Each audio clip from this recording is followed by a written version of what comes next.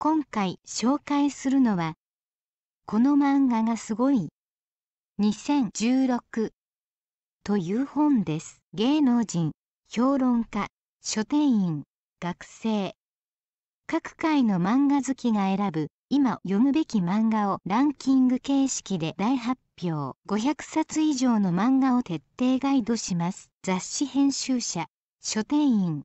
大学漫画研。各界の漫画好きなどのアンケート結果をポイント集計した。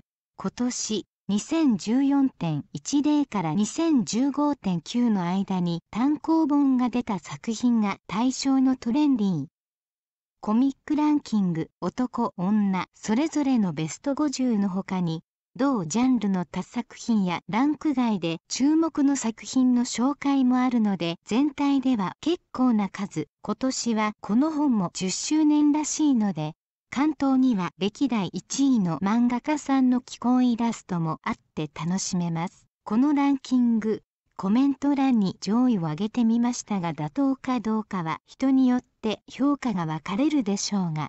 パッと見なんでこんなのが入っている？というのはあまりいないように思います何より最近の漫画の簡易カタログとしては結構便利ではないでしょうか以上興味のある方は実際の商品を Amazon などでご確認ください。今回は最後までお付き合いありがとうございました。よかったらチャンネル登録をお願いいたします。